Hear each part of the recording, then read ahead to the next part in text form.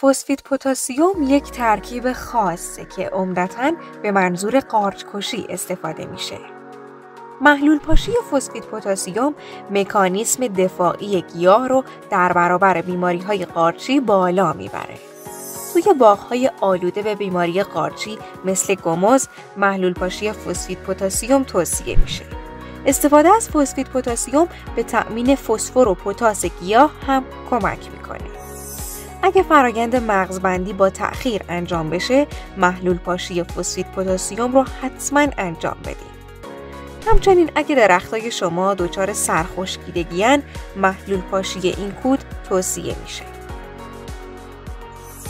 بازه زمانی مؤثر محلول پاشی فسفید پتاسیم از نیمه اردیبهشت تا نیمه خرداد ماه